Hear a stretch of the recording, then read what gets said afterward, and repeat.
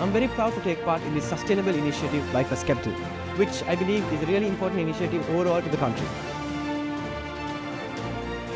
So I uh, encourage everyone to you know support and engage with this initiative and uh, keep the environment clean.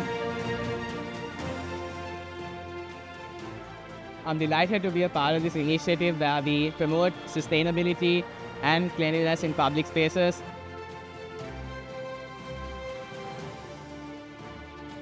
So I think it's uh, like a good initiative uh, to clean the premises after a match. Uh, we are giving uh, the crowd very good uh, news.